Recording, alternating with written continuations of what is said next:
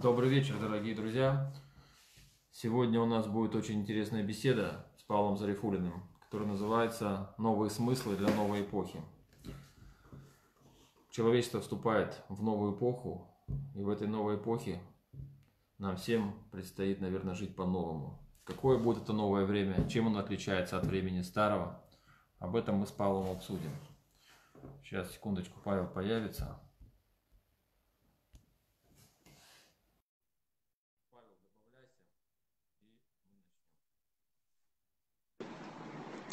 Привет, Алан. Приветствую всех наших друзей. Да, как мы уже лихо освоили этот Facebook. Да, да, да, да, да. Наловчились. Да. Павел, вот тема уже озвучена, в принципе, да, что Да. новая эпоха наступает и новые смыслы. Ты написал статью большую. Все желающие статью потом увидите в комментариях под видео. Выложу везде, на всех, ну, где будет видео выложено, там же будет ссылка на статью выложена. Статья очень такая глубокая, я ее уже, честно говоря, два раза перечитал. Да ты что? И не того рода текст, да, который так со старта понимается, но при этом у меня какое-то базовое хотя бы гуманитарное образование есть. А вот людям, у которых этого гуманитарного образования нет, наверное, мне кажется, будет немного сложно. Вообще, ты знаешь, меня вот часто обвиняют мои вот земляки в том, что мы говорим какие-то сложные вещи, хотя, мне кажется, мы так- таким простым языком стараемся объясняться. Вот сможешь ты, вот что ты имеешь в виду под новая эпоха, почему она новая, что вообще происходит, да, и там, чем она отличается от старой, о чем вообще идет речь? Ну, давай, э, давай начнем тогда с того, э, с чего мы людей заинтриговали сегодня, о, о смене космических циклов, потому что это одно дело мы говорим, какие-то идеологи приходят, разговаривают, какие-то несут какие-то вещи странные пока, странно произносимые. А вот с другой точки зрения, э, всем, всем же ясно и понятно, что происходит космическая смена вех, и люди к этому очень любят наши подключаться, вот, э, поучаствовать в обсуждении миллениума, грабанется или не, граб, не грабанется. А почему Путин пришел на миллениум? Это же вокруг этого целая история была большая, очень интересная. Потом, я помню, в 2012 году было просто какое-то светопредставление, связанное с Новым годом э, майя. Э, народ майя имел очень развитую астрономию, очень развитую систему, которая к ним попала еще со времен таинственных альмеков, которые еще в тысячном году до нашей эры умудрялись э, в Америке, в Мексике строить акведуки, водопроводы, то есть это, ну, как в Древнем Египте была сопоставимая цивилизация, пирамиды строили, потом исчезли, а вот календарь свой они майя передали, ну, какая-то преемственность осталась. Ну, так вот, э, собственно говоря, 21 декабря 2012 года, как есть, помню, вот мы этот конец света очень активно обсуждали, к нему готовились, и готовились не только мы, а вся страна, по-моему, готовилась. Я тогда читал лекцию в РИА Новостях, э, там, тогда был там лекториум про конец света э, по календарю мая.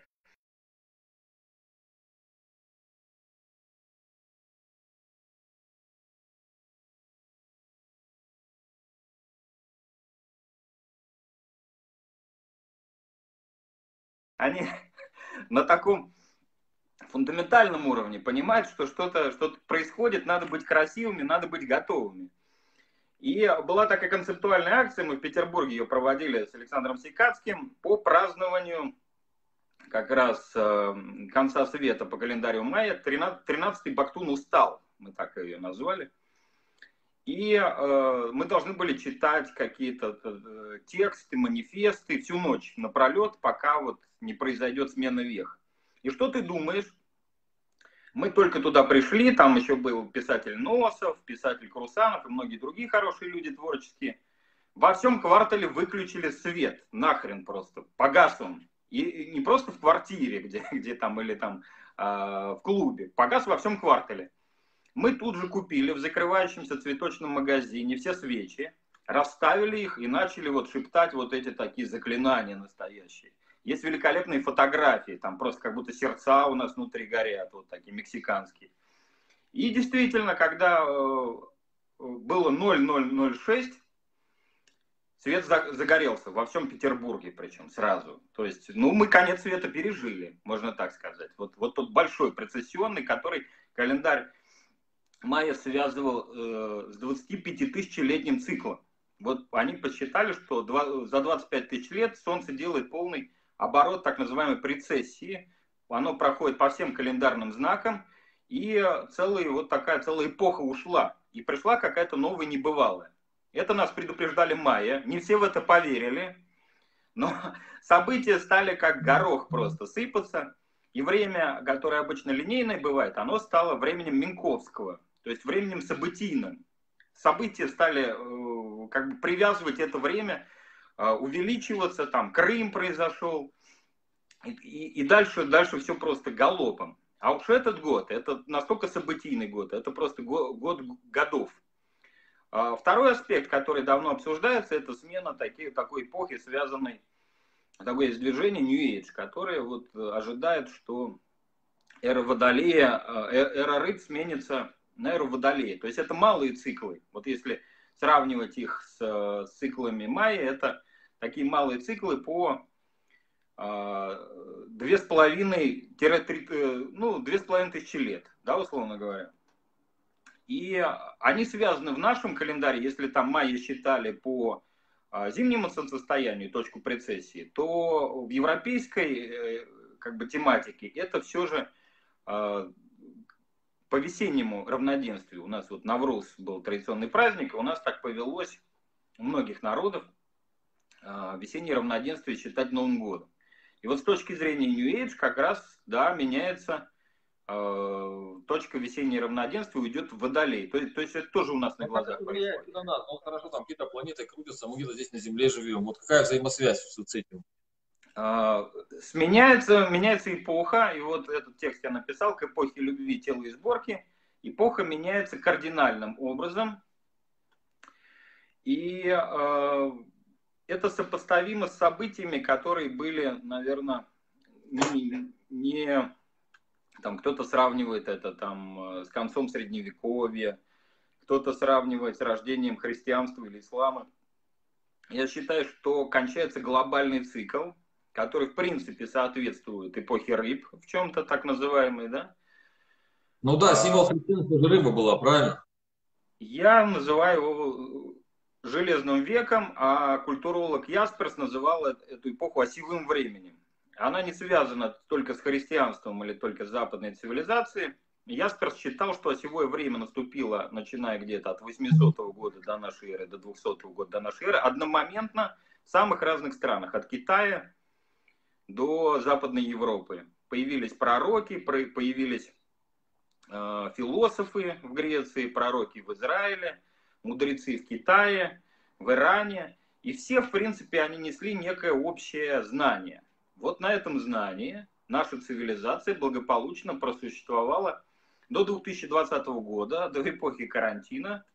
И вот как мы только выходим из эпохи карантина, вот э, тут я уже как человек интуитивист, да, говорю, что эпоха-то это ваша закончилась. Она может еще продержаться в каких-то странах какое-то время. Прошлый, прошлый, прошлая эпоха, прошлый, которую сменила осевое время, так называемый бронзовый век, она долго держалась в некоторых странах. Вот наши братья-скифы, они до каких годов-то досидели? Со своей... Они уже пользовались уже железными предметами. Но э, философски, мировоззренчески, они были из той эпохи, из предыдущей, до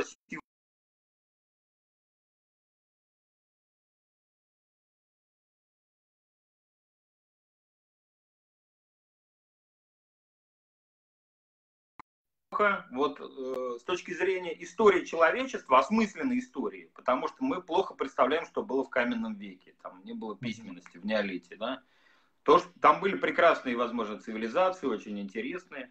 Они оставили после себя мегалиты, лабиринты. Но что там было точно, мы плохо представляем. Но вот что было в бронзовом веке, мы знать можем. Многие из нас ездили в Египет, видели пирамиды. Многие ездят в Аркаим и видели Аркаим. И э, какое-то представление об этой эпохе мы имеем, глядя на скифские пекторали, где хищники терзают травоядных. Вот хотя бы образное представление. Это Или хорошо, там... вот я статье вот это писал, там, когда человек уже освоил верховую езду, да, и появились эти конники. Почему женщины тогда проиграли эту битву, да, по сути, типа, до этого был в бронзовом веке больше матриархат, а потом этот матриархат сменился на патриархат, и было это связано с тем, что как бы освоили конную езду, появились садники, кочевники, там вот эта вся кочевая культура. И ты же там описал, что как бы конный век закончился когда? После Первой мировой войны, да? Я думаю, окончательно после Второй мировой войны. Вот тема с лошадьми, да, да, да, сборки, сборки с лошадью. Да, этот железный век был веком, веком конников, веком всадников, и они э, создали аристократическое правящее сословие. Э, коня приручили, э, конь активно использовался людьми весь бронзовый век, но в качестве тяглового, ну, такого тяглового элемента сборки человека с колесом и с конем. То есть как тяжеловозы их использовали, э, либо для езки на колесницах. А, и, ну, сейчас мы переходим, да. мы перешли на железную тягу уже получается. И вот, ну и, и дальше что? Твои, что ты думаешь, как это дальше будет? Давай, я вот просто э, описывать этот текст, это ну такая э, долгая трата времени. Я всем да. желающим предлагаю к нему обратиться. Э, я предлагаю встать над эпохами. Вот сейчас такое время редкое, когда можно над эпохами встать и посмотреть вот по, так по птичьи, да. Давайте попытаемся на всю историю человечества сразу. Редко так бывает. Мы стоим на полном переломе эпох, потому что ну, это видно невооруженным глазом. Деньги другие, их уже нет, то ли они есть, то ли нет. Вот нас научили уже в Москве только пользоваться карточками. Я уже забыл, когда в кошельке там 3 рубля было, да? А деньги же есть каким-то образом, они вот существуют. Это другая эпоха. Мы с тобой общаемся по, по видеотелефонам. Это другая уже тоже, это уже кремниевая, кремниевая цивилизация, да, уже не железная. Это уже ну, не железяка да, какая-то. Там есть элемент железа, но там крем... все, все, все самые ценные вещи, они в кремне засели. Это яв, явно уже другой какой-то элемент таблицы Менделеева, да. А, на наших глазах меняется отношение вообще к мировому порядку, к, к тому, что мы называли государством длительное время, а, к процессам э, взаимоотношения различных сфер экономики. Тоже связано с культурой, связано с какими-то духовными прорывами людей. Я огромное встречаю количество групп, церквей, э, на просторах интернета и вообще и в жизни, которые утверждают, что сейчас мы переходим в пятое измерение, что вибрации Земли повышаются, что э, люди становятся другими на глазах что дети становятся другими. Ну, тут тоже не поспоришь. Дети, дети явно становятся другими, чем, чем мы там или э, наши родители. Происходит э, событийность невероятно увеличивается. Мы живем с тобой э, в нескольких уже технологических укладах. А раньше люди жили в одном технологическом укладе, жили сотни поколений подряд. То есть э, даже можно утверждать до посинения, что ничего не меняется, но, но а, совершенно ясно, что меняется все. Перед нами стоит совершенно новый мир. И э, я предложил в этом тексте разделить э, как раз вот эти три времени, три эпохи на бронзовый век, у которого было свое мировоззрение оригинальное, э, и свой гендерный порядок, тогда действительно был матриархат, совершенно верно ты сказал.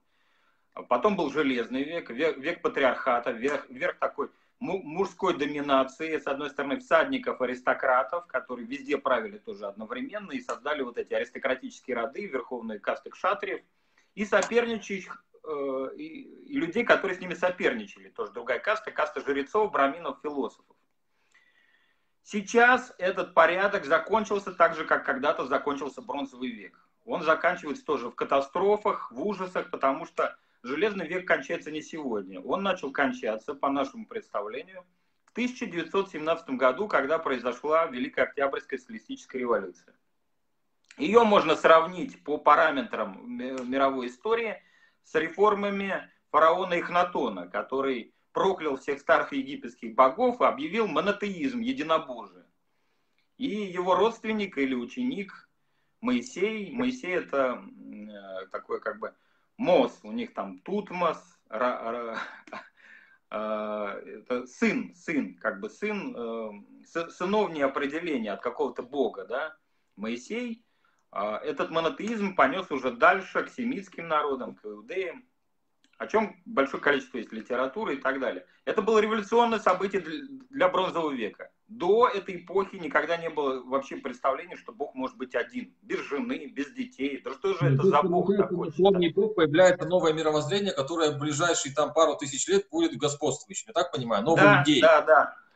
А, и в 1917 году, когда произошла Великая Октябрьская революция, она сравнима, на мой взгляд, то, что, то, что сделал товарищ Ленин вместе с примкнувшей к нему э, партией левых эсеров, то есть большевики левые эсеры в 17 году, то, что они совершили, это сопоставимо с эпохой Эхнатона. Эпоха Эхнатона началась раньше времени. То есть это был такой первый предупредительный выстрел, потому что еще очень долго человечество жило по порядкам бронзового века, были политеистические боги. Вон на Руси продержались почти до, до, э, до тысячного года, да, ну или там до конца X века.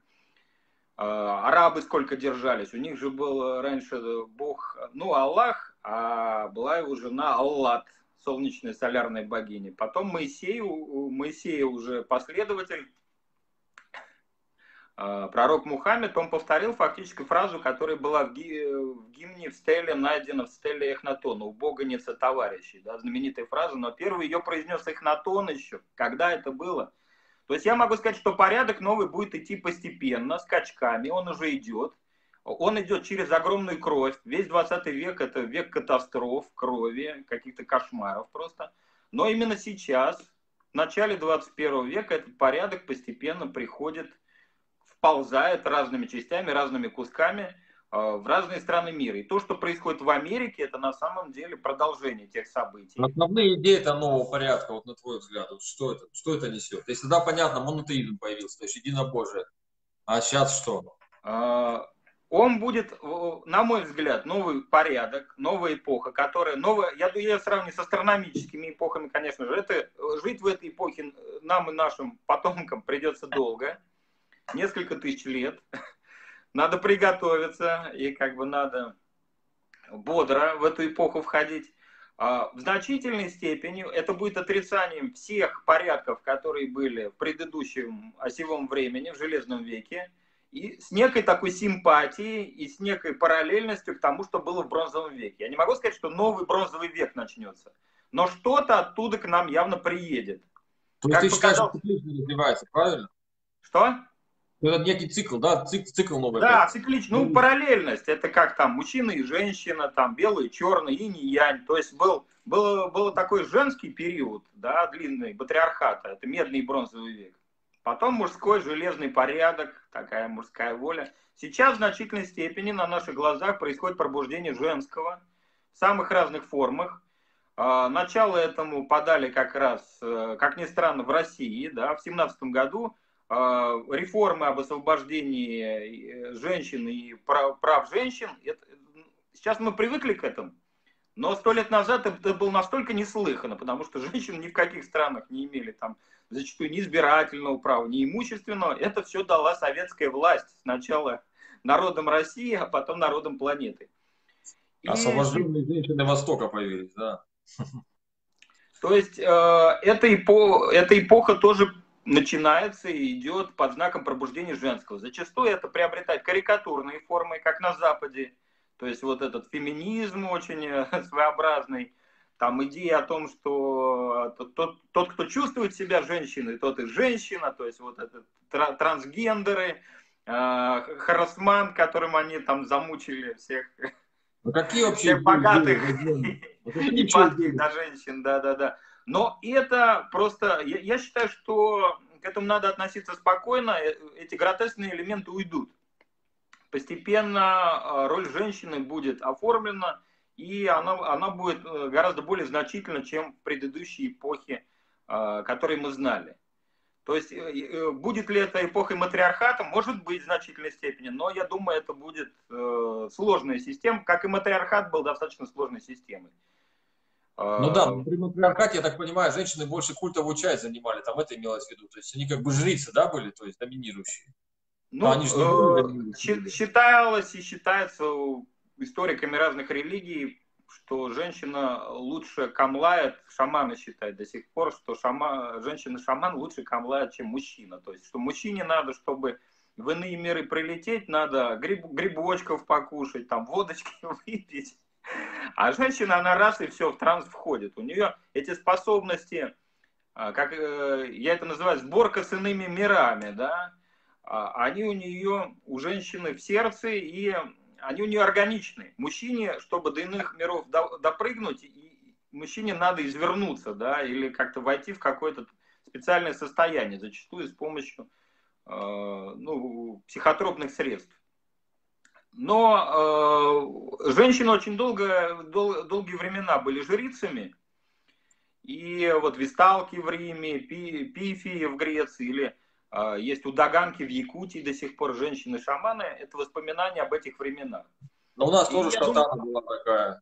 Да, шатан, шатан у нартов, это же культ, культовая женщина, которая создала этот мир нартов. Они же все из ее небесного зеркала фактически выросли. А что еще, кроме матриархата, в новом времени нам ждать, Павел?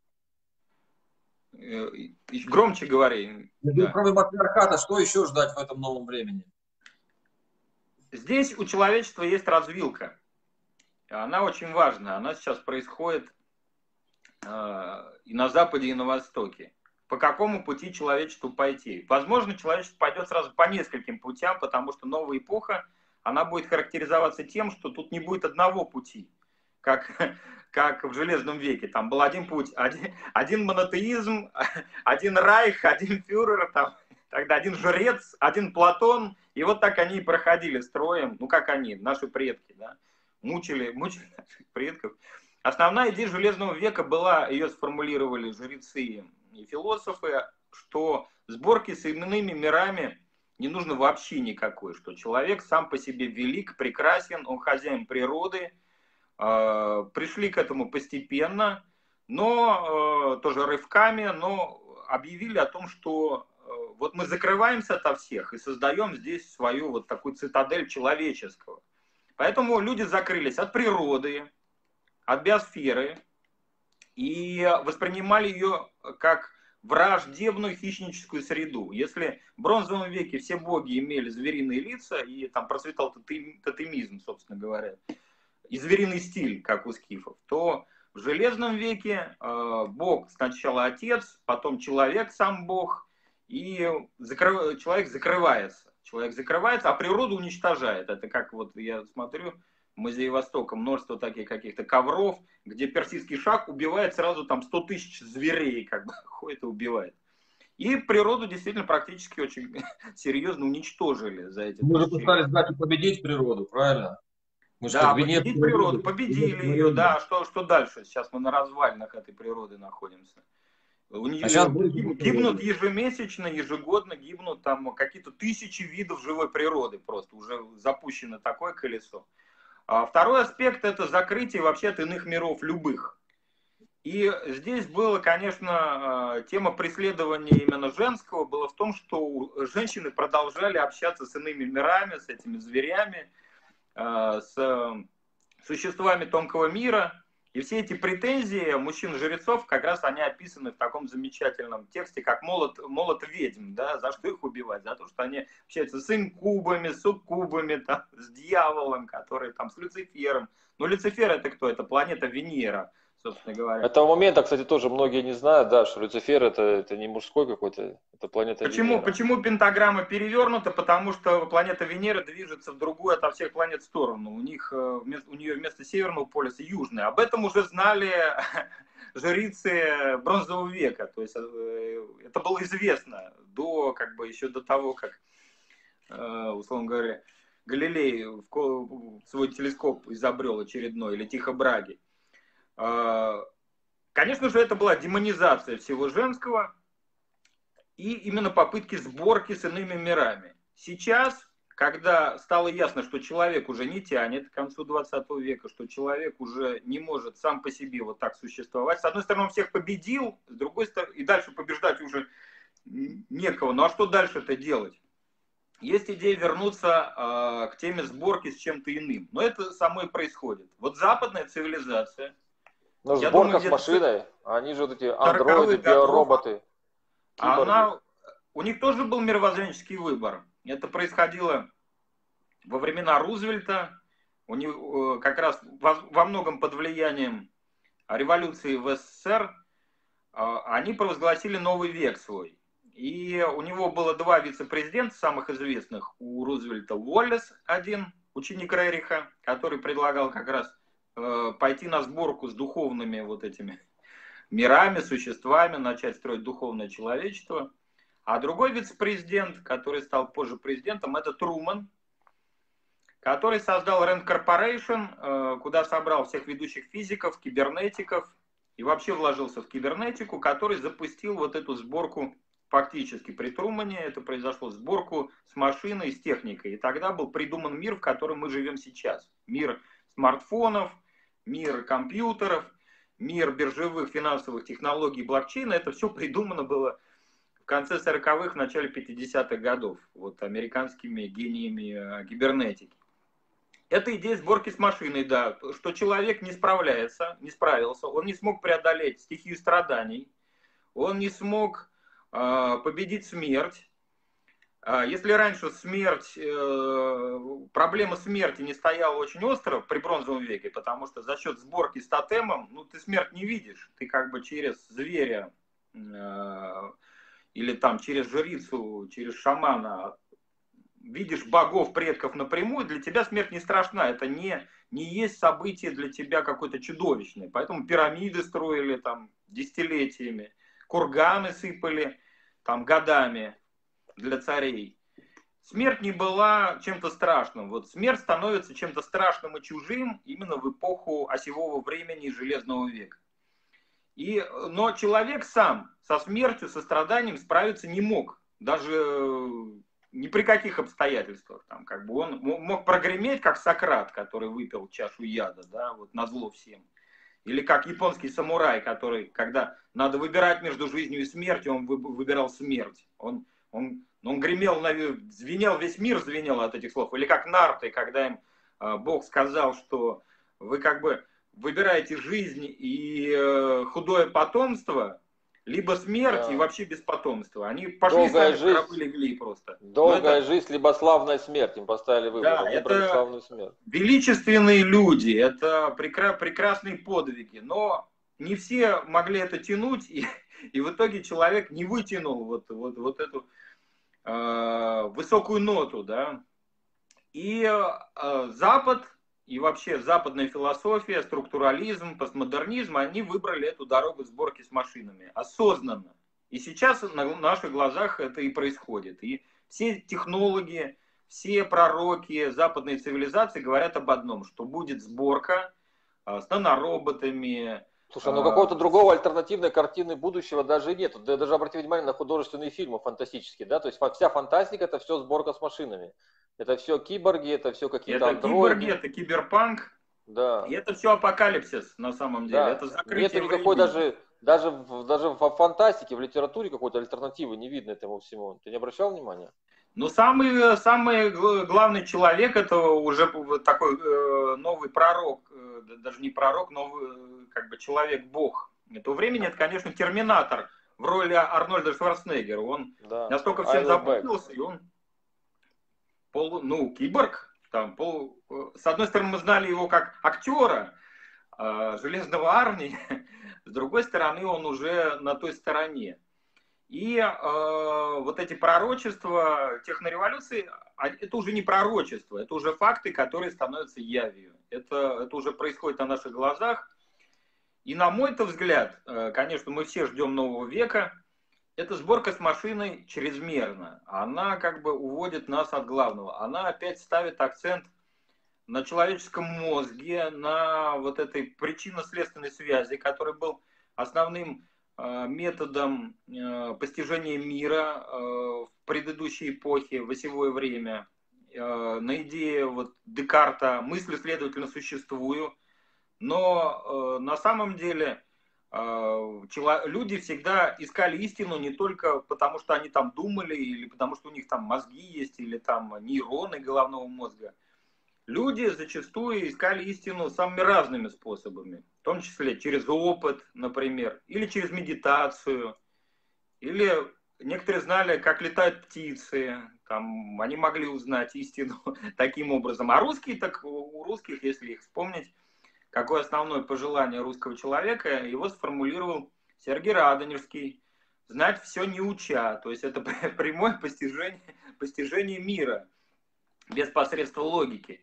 Вот эта часть как бы сборки с иными мирами сейчас, на мой взгляд, очень плохо востребована. Конечно же, сейчас, как я опять уже говорю, я фиксирую множество предприятий, церквей, там каких-то там ведьм ВКонтакте и, и, и огромных расстановщиков, которые вот пытаются цивилизацию все-таки вывести на какой-то другой путь, не машинной сборки, а сборки... Они ну, пытаются опять-опять выйти на эти все техники, да, то есть опять выйти, соединить человека с этим таким абстрактным, так скажем, да, с тонкоматериальным, ведь я еще же, что вот еще очень хочется добавить к твоим словам, да, почему 20, 20 век нас ждал вход в этот новый мир, потому что появилась эта квантовая физика, да, то есть раньше предел материи это был электрон, как бы и понятно, в материальном мире, где существует конечная точка в виде электрона, ничего не существует, и везде только материализм был, да, такой махровый.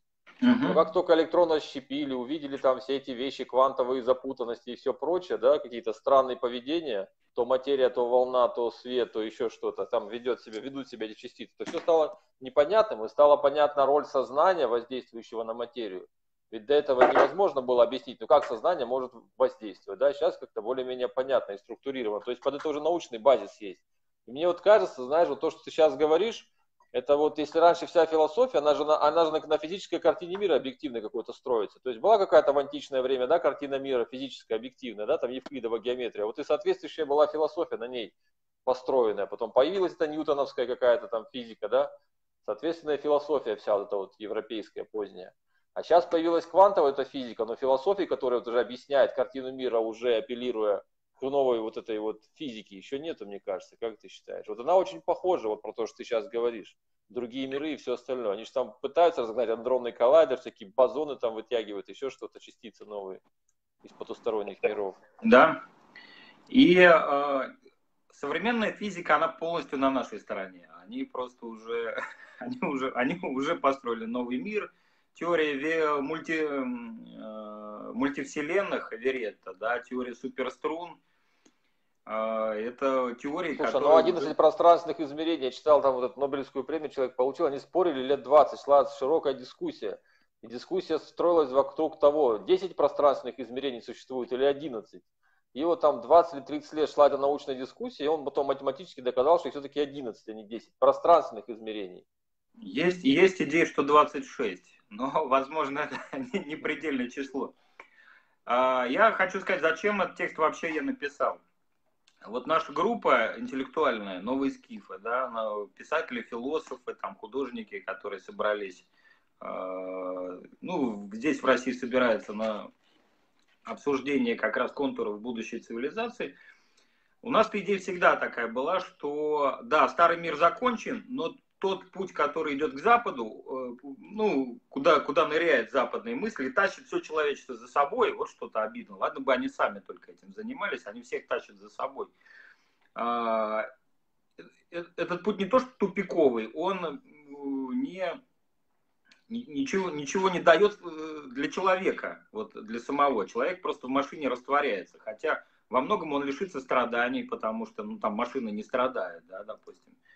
А, но он и лишится и эмоций. Эти эмоции ничего не будут стоить, как в современном мире ничего не стоит уже культурной ценности. Нет, с точки стать биороботом, я думаю, невелика заслуга, понимаешь, или оцифровать себя сознание и загнать себя в интернет в виде, там, я не знаю, цифрового Алана или цифрового Павла. Ну, это да, и а в, в Китае же они уже берут журналистов на работу, искусственный интеллект, чтобы, чтобы они статьи шлепали или там картины шлепали. Они рисуют, они берут из банка данных, там что-то дорисовывают и как бы показывают и так далее. Но э, для чего мы все собирались? Для, для чего люди были созданы? В чем миссия человека с точки зрения Творца? Мы считаем, что необходимо, причем э, не каким-то уже не кулуарным образом, не с точки зрения кружка там э, вот этих любителей природы или любителей матриархата, а с точки зрения большого, возможно, международного всепланетного течения утверждать иные ценности. Вот э, я называю западную цивилизацию цивилизацию мозгов, да, с огромным вниманием на проблемы головного мозга. Но мы-то помним, какой орган отвечал зачастую у людей за действительно за настоящие подлинные контакты со всей Вселенной, с космосом. Это, конечно же, сердце, ритмическая часть нашего организма, которая, ритмы которого вполне, через ритмы которого вполне можно и, и делается постижение космоса напрямую. Ритмов космоса, ритмов галактики, ритмов Солнечной системы, ритмов э, всей Вселенной. И здесь, конечно же, ты совершенно прав, квантовая физика – это то, э, чего мы ждем, подлинной квантовой революции, потому что она обращается напрямую не к, эм, действительно, не к атомным частицам, а к субатомным частицам, которые нам показывают очень правильную вещь. Это тема суперпозиции.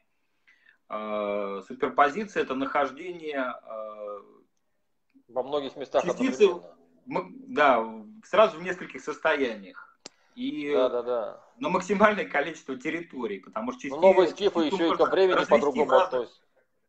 В да. разных состояниях, вообще в разной части Вселенной, но она будет мгновенно передавать информацию другой частице. И поскольку этот э, духовный космос, который рядом с нами, его в свое время пытался, я думаю, описать, предвосхитить э, величайший философ и математик Лебниц, который написал монадологию, вот он написал, что монады это настолько мельчайшие частицы, но которые имеют духовное основание. Так вот, вот эти миры, которые сейчас открывает новейшая, новейшая физика, это миры, это, ну, фотоны, фотоны света, да, гравитоны, мельчайшие частицы гравитации, или еще не открытые хронотроны, это частицы времени, вот эти кристаллы времени, они создают причудливые самые разные композиции – а, и формируют, собственно говоря, миры. Вот общение с ними, с этими существами, с этими империями, с этими созданиями, оно открывает перед человеком настолько невероятно возможные, возможности и перспективы, что здесь отменяется и страдание. Почему? Почему страдать, когда человек может создавать целые вселенные через вот эти сердечные техники? И здесь, конечно, квантовая революция, она, возможно, откроет, я считаю, что она должна открыть совершенно новые возможности постижения мира через сердце, через его сердечные ритмы, сердечные возможности. А, и появятся новые девайсы, совершенно. Потому что смартфон это девайс для мозга. А где лавфоны для сердца? Только с помощью, с помощью сердца можно постигнуть э, как бы через э, симпатии, через симпатии, через любовь различных элементов, различных звезд, зверей. Об этом писали и философы, и древние пророки, э, что мир держится и как бы существует через взаимные симпатии э, разных частей космоса. То есть, как раньше любовь говоря, богов, там, да, боги, богини. Да, да, да. Там... Птица Малиновка связана, вот пишет Агриппа Нетезгейский, там созвездием Паруса. Как она связана? Вот с точки зрения головного мозга это понять невозможно. Ни головного мозга Малиновки, ни головного мозга человека, да. А, как там связана утренняя звезда с племенем бедуинов, которые ему поклоняются до сих пор, там, вопреки исламу, там, в этой, посреди Сахары точки зрения головного мозга это никак объяснить и причинно-следственные связи. Ни один Шерлок Холмс это описать не, см не сможет, как, как эти вещи происходят. А они происходят благодаря там, правильной молитвы к утренней звезде, они находят источник посреди пустыни, условно говоря. И вот вся Вселенная пронизана этими связями, этой любовью, поэтому я и назвал этот проект «Эпохой любви».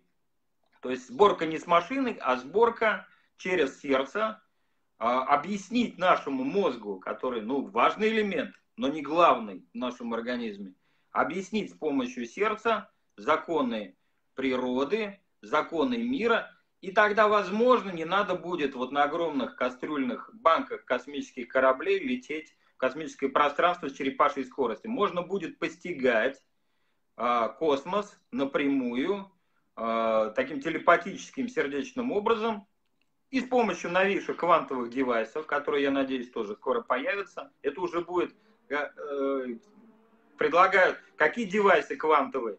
Ну, наверное, камевоежору будет легче продавать там с помощью квантовых механизмов, а, какие-то шампуни. Да ни черта подобного. С помощью квантового компьютера можно сломать вот эту цифровую систему цифрового концлагеря за 5 минут. Все, все замки да. мира цифровые. Ник, никто не знает даже для чего можно применить эти мощности квантовых компьютеров. Они а вот мы мощные. предлагаем эти мощности квантового компьютера пустить на то, чтобы через сердечный орган, ну и через человеческий организм связаться со всей Вселенной таким образом. Вот такой простой план – но э, мы же не одиноки, с нами одновременно работают параллельно множество организаций, фирм, духовных орденов, которые мыслят в эту же сторону. Надо всех объединить, собрать и эпоху любви провозгласить. Такой план. Да, я что хочу, вот, дорогие друзья, наверное, общество, человечество стоит на развилке, но выбор-то еще не сделан. И правильно говорит, мы должны при, предложить свой вариант развития будущего. На сегодняшний день никто же у нас в России, ну, не продашь, мы прим, примкнуть должны кому-то, либо там китайский там концлагерь, либо какой-то англосаксонский Либо концлагерь. европейский концлагерь, либо китайский концлагерь. Ну да, даже не европейский, а американский, потому что технологии есть либо у американцев, либо у китайцев. У европейцев тоже своих нет, там чужие технологии у них по большому счету. То есть вот этот технологический какой-то такой концлагерь, да, нас погрузить. Вот ты сейчас предлагаешь вообще альтернативу, которую, ну, вообще она не обсуждается. Ее как бы нету даже, ее даже нету в культуре, я бы так сказал, понимаешь? Нету кинематографа на эту тему, я не читал особо книг каких-то на эту тему. Ты понимаешь, что это вообще? Нас лишили альтернативы подобной. И как а... вот сейчас в короткое время, вот на самом деле это оно же не такое большое, да, у нас же мало времени-то осталось. Вот эта цивилизация, которая выстраивается, да, техногенная, как ты говоришь, да, то есть если высший разум представить, что он существует, то я думаю, что в его планы не входит превращение это все в планету железяка. Я так думаю. ну вот, вот э, я и рассчитываю на, на квантовую революцию, потому что э, квантовый компьютер, даже он э, как бы исходит из того, что, ну, обычный наш компьютер, по которому мы с тобой общаемся по видео, он э, работает на системе двух цифр, 0 и 1, да? А квантовый компьютер работает на системе, что одновременно бит и 0, и 1 одновременно. То есть вот это очень русская вещь-то вообще. Кот Шрёдингера, я думаю, он а, персонаж русской сказки. То ли жив, то ли мертв. То ли было, то ли не было то ли карантин, то ли свобода там и так далее. Вот э, наш-то народ прекрасно разбирается в хитросплетении квантового мира и живет. Квантовое сознание это органично для, для всех народов Евразии. У нас нет вот этой квадратного мышления цифрового.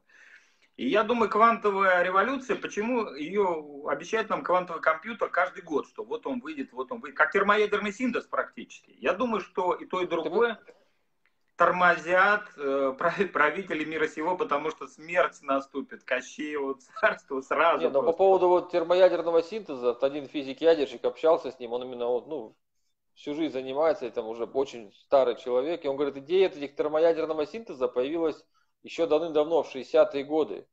Ну тогда же, в первый вопрос, говорит, сделать этот вот процесс, как бы, да, можно, то есть синтез, да, в лабораторных условиях. А сделать реактор сам, там в чем проблема? Там температура внутри, где происходит этот процесс, это как температура на солнце, порядка там 20-25 тысяч градусов. И он говорит, я говорит, вам сделаю хоть завтра этот прибор, дайте мне материал, из которого можно сделать саму эту рабочую камеру. Где должна происходить эта реакция термоядерного синтеза? И вся говорит, проблема только в этом заключается. Нет материалов на Земле, которые способны выдержать такую температуру. И поэтому он говорит, эти все проекты по поводу термоядия, холодного термоядия, это фантазия. Ничего Давай сделаем отдельную программу про термоядерный синтез. У меня большое количество тоже информации. Я э, фанат как раз термоядерного синтеза. Я думаю, он решит все проблемы человечества с энергией. Он бы решил, очень, да. Очень большая тема, и, ну, возможно, надо будет в зуме делать с каким-то специалистом. Да. Потому что мы с тобой э, действительно мы собираем откуда-то информацию, но постоянно этими вопросами не занимаемся. А здесь мы как бы, как раз, я думаю, подошли, подошли с тобой к теме, вот что делать практически, люди нас спросят, наши э, братья, друзья. Пока которые... ничего не спрашивают, даже не комментируют, понимаешь, меня поражают. Я когда с тобой, у меня эфиры, людям даже спросить нечего. Вот молчат все. Вы задайте какие-нибудь вопросы хотя бы, дорогие друзья. А то мы как будто сами с собой общаемся. Ну, вроде темы-то простые, Они вообще нас видят, потому что был предыдущий эфир э, с Шевцовым, и там э, нейросети работали вместо наших лиц. Там, как бы. Да нет, тут нормально все. Все в порядке? Написали, да. Нет, ну, конечно, мы выдаем совершенно новую информацию, и вот э, я помню, женщина писала после каких-то эфиров наших с тобой, что мы даем информацию там из будущего времени, там, как, как гости из будущего, те вещи, которые не принято обсуждать. У нас привыкли за последние Нет, на самом деле, на самом деле, может быть, так и есть гости из будущего, для того, чтобы сделать выбор, понимаешь? Если вот это же по всей этой квантовой теории прошлое и будущее одномоментно существует. Конечно, ну, да, конечно. Да, в каком-то пространстве. И, соответственно, есть пространство вариантов. То есть мы сейчас находимся на глобальной этой развилке. Вот к ней подошли, может, сейчас уже подошли, либо вот сейчас ее должны будем пройти, эту развилку. И при неправильном выборе где-то в будущем окажется, может быть, кто-нибудь и захотел там, да, через прошлое поменять свое будущее. Потому что техносфера – это смерть. И вот это сейчас проблема терминатор, как его хорошо, она так и называется сейчас, проблема терминатора. А в чем проблема восстания машин? Понимаешь, техносферу разовьют до такого, что в какой-то момент машины перехватят управление, в какой момент у машины появится сознание. И я таких читал исследователей, которые уверяют, что оно уже у нее есть. Просто так как она у нее появилось сознание, она не обозначает, что у нее есть сознание как бы нейронами являются все эти компьютеры, огромное количество к интернету подключено, эти биг дата, это все вот ее мозг такой глобальный. И она в каком-то смысле уже управляет. И здесь, здесь э, важная, важная вещь как раз, что Железный век это был, конечно, значительный век, э, век рабства, потому что рабство существовало во всех странах мира, в России его отменили там чуть ли не, не в 20 веке, да, там в Америке, там до сих, до сих пор люди лютуют. Почему? Потому что страшное рабство было. Почему они памятники сносят. Что на них обижаться? Как их мучили? Это действительно очень тяжело. Весь 20 век это век тотального рабства, когда людей в концлагеря, в ГУЛАГи загоняли. И поменять человеческое рабство на рабство машины, это, конечно, не очень приятная такая история. И я не, не враг технического прогресса, я считаю, что очень многие технические достижения, они полезны, полезны нам. Ну, как, например, вот мы с тобой видеоэфир ведем, о чем раньше не могли мечтать. Но, конечно же, человеческое достоинство необходимо сохранить. И, и здесь как бы нужно, э, я думаю, сделать все, утверждая, ут, утверждая э, человеческое достоинство раз, а во-вторых, иной путь развития цивилизации. Он есть. И на него уже сейчас работают сотни и тысячи, может быть, миллионы людей с самыми разными проектами. Там проект Венера там э, в Америке, да, там люди новый экологический город строят. Плейстоценовый парк Сергея Зимова на Колыме, где он возрождает животных, которые были до того, как человек пришел и убил там их всех, там бизонов завозит там э, в тундру и собирается с японцами ведет переговоры о том, чтобы мамонтов э, восстановить. И их восстановят постепенно. Это долг человечества. Все уничтоженные Э, уничтоженных всех животных восстановить со временем. То есть сейчас новая эпоха, она ставит перед выбором, но она открывает огромные творческие возможности, в том числе с помощью технических достижений, там и будущей квантовой революции, той технической революции, которые произошли. Но действительно, э, человек должен войти в нее творцом, открытым, э, всем сердцем. И тут, конечно, очень важна роль женщины, которая тоже неожиданно сейчас возвращается в человеческую историю. Женщин-то не было 3000 лет. Забывают об этом, что женщины были э, таким э, сословием, которое не имело, имело очень мало прав. А в некоторых странах не имело никаких. В некоторых не имеет никаких вообще до сих пор. Вот я ездил по Пакистану в свое время очень много, в Афганистане. Там женщин ты не увидишь, у тебя складывается, ты проедешь там, 5, 3000 э, километров, да, или там сколько. И видишь только мужчин и детей, у тебя складывается сюрреалистическое такое ощущение, что а как они без женщин живут и, и размножаются. Но дело в том, что именно, я думаю, активное участие женщин э, в, новом, в новой эпохе оно сможет нас э, как бы сохранить от этого машинного рабства, потому что женщина самой природы, она формирует органические связи, органические цепочки. Она, во-первых, рождает нового человека, да, во-вторых, у нее есть сверхспособности, естественно, э, в том числе и сердечные, и там и э, исходя просто из особенностей ее организма, да, по... Ну, да, да, да, я понимаю, о чем ты говоришь. Органически, органическим связям э, с иными мирами. Потому что мы сейчас решили открыться иным мирам. Вот э, и само время нас диктует к открытости иным мирам. И здесь роль женщины, конечно же, будет важнейшей. Она должна человечество вывести из этого очень нехорошего состояния, в которое человечество сейчас угодило. Человечество достигло потолка в Железном веке и как бы и приуныло, не знает, куда идти, и во все тяжкие сейчас бросается, сходит с ума, а, пытается объединиться с машиной, с умным пылесосом, с умными обоями. И как бы, по сути, это путь в никуда. А вот с помощью, вот я думаю, женщина должна как Ариадна вывести нас из этого лабиринта. И здесь, обращаясь к нашим дорогим сестрам, которые смотрят нас сегодня, ваша роль будет, возможно, самой решающей в этой новой революции сердца, которую а, мы сегодня, о которой мы сегодня с Аланом говорим. Да. Алан? Мне вот просто вот интересно, когда ты думаешь, вот как это практически будет реализовано?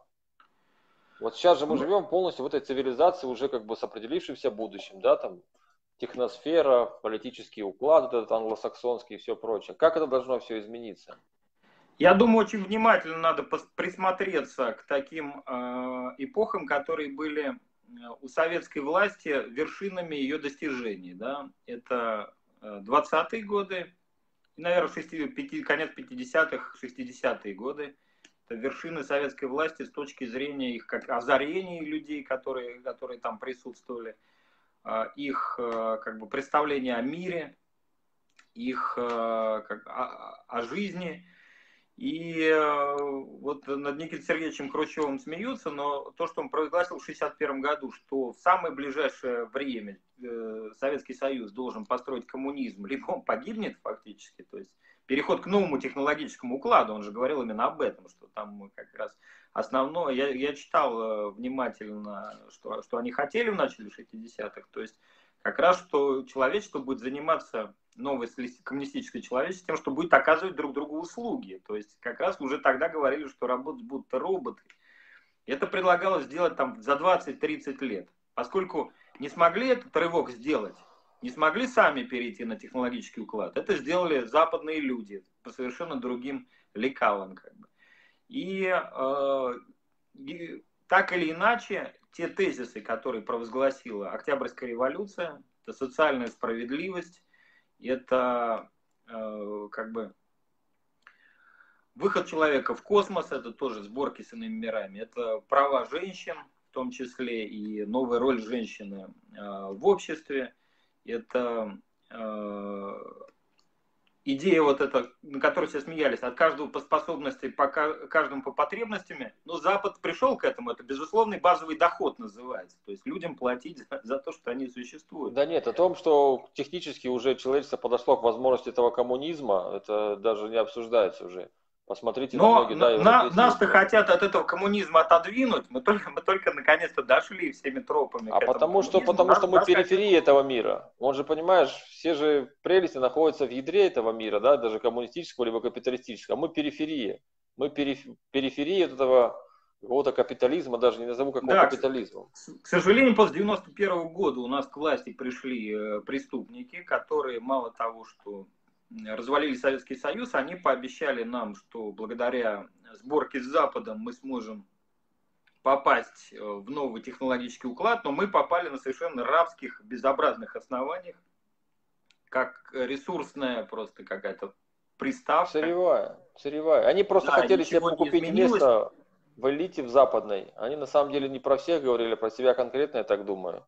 И себе конкретно хотели выторговать какое-то место. Но многим же удалось, переехали там в Лондон, ну, вот Горба, Горбачев до сих пор живет. Я думаю, как раз Горбачев живет с помощью новейших медицинских технологий, иначе ничем объяснить это невозможно.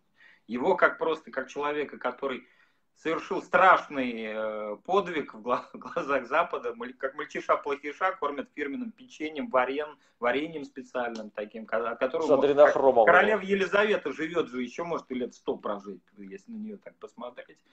Я думаю, также и Горбачев. То есть появляются новые медицинские технологии, которые позволят людям жить гораздо дольше, чем сейчас. И, а я думаю, знаешь, просто есть. Горбачева, Горбачева держат живым. Я же вот я говорю, каждое утро молюсь за его здоровье, чтобы он дожил до того момента, когда мы его казним на Красной площади. Он должен дожить до этого дня. Понимаешь? Вот Когда смотри, я все же... Осудит народ и казнит его на Красной площади за все его преступления. Как человек, который прислушивается внимательно к космическим ритмам, я все же верю в знаки, верю в пророчество. Все пророчества 19-20 века утверждают, что человечество спасется из России и с помощью как раз пробуждения женского, пробуждения сердечного. То есть об этом говорили софиологи наши великие, там, от, начиная от Владимира Соловьева. Не, хорошего Владимира Соловьева, не, не того, который, про которого по телевизору показывает, а такого философа прекрасного. Фатимское пророчество в Португалии в 1917 году, где детям являлось на протяжении нескольких месяцев э, Дева Мария говорила, что через ее непорочное сердце, через Россию э, мир станет другим, мир изменится на, на других основаниях. Да? Таких пророчеств множество, они происходят до сих пор, они как бы преобразуют, пре, постоянно воспроизводятся, и они говорят о том, что, а, конечно же, возрождение будет из России. К тому же здесь а, эта традиция никогда не заканчивается. В самом пекле Великой Отечественной войны, самой страшной войны, которую переживали народы нашей страны, возник из ниоткуда культ Родины Матери.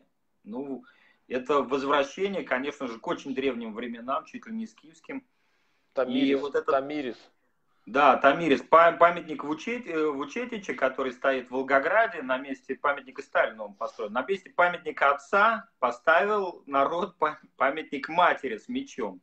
Но если вспомнить как раз и прототип, то как раз это Тамирис, скифская богиня, которая. Э, скифская царица Авсин, госпожа, которая мстила за Э, своего сына убитого царем Киром. И на мифической реке она разгромила огромную персидскую армию, которые бились как раз под правосторонними свастиками, что интересно. И это тоже возвращение циклов. И вот да. эта Тамирис, она вернулась, и она показала, и, и это главный памятник нашей страны. Это, это совершенно точно. Если, если там на Западе это памятник э, Статуя свободы, свободе, да, да, то у Кибела, нас Кибела. И я вижу в том, что этот культ э, так или иначе в России существует у самых разных групп, там, у военных, там, у воров, там, культ матери, у просто у людей у нас э, все-таки э, это говорит о том, что через, вот, через, через образ Родины Матери люди приобщаются, это как элемент сборки вот с этой небесной России. Они приобщаются, э, видят свою страну святой действительно. Если этот культ э, сделать более каким-то рациональным, что ли, то я думаю, он, это единственное, что может платить наше общество. Там и чиновников, и, и, и народ, и там и армию, и, и, и женщин, да. Потому что как можно обманывать мать? Вот чиновнику, допустим, если у него портрет родной матери висит, и его спросят, как мог маму-то обмануть? А как можно матери лгать, да, вот по логике вещей? А, а, у нас родина мать это как вот в древнем Египте, где тоже был матриархат, конечно. Это как Маат, это крылатая справедливость, которая летит над, над фараоном, и попробуй ты его, ты там обмани народ или там, э, или богов. Она немедленно карает, но с другой стороны она тебе дает все, если ты по справедливости живешь. Потому что справедливость у нас правда, это тоже женского рода, это примерно одно и то же. Это тоже соответственно, мы об этом говорили с тобой. Да. Это тоже, это просто два крыла Родины Матери, на котором, на котором она стоит. Я думаю, возвращение, возвращение вот подобных культов, возвращение подобных практик и формирование будущей российской конституции, не той вот, которую мы что-то будем что-то с ней делать, на таких принципах, оно изменит ситуацию в России очень быстро, органично и изменит ситуацию в мире. Потому что по традиции все на Россию смотрят со времен Октябрьской революции как на страну, которая должна дать альтернативу. Даже когда ничего здесь нет, все равно все думают, а вот все-таки в России, России зажгется вот этот огонь, свет с востока, который весь мир выведет из этого кретинского, идиотского состояния, куда мы все попали. Вышли из, одно, из одной тюрьмы, попали в другую.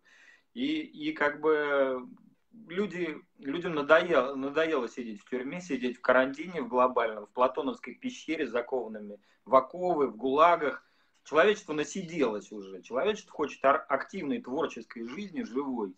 И я думаю, как раз мы должны вот, э, России показать этот цвет, этот огонь на курганах.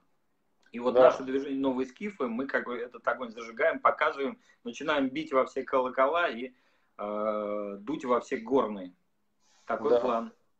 У нас тоже такое предсказание есть, что придет время, и огонь загорится на Асской горе, да, и, и все будет хорошо. Кавказ, как бы это есть эти адские горы. То есть везде говорится про огонь и про то, что что-то отсюда пойдет именно с территории России на самом деле.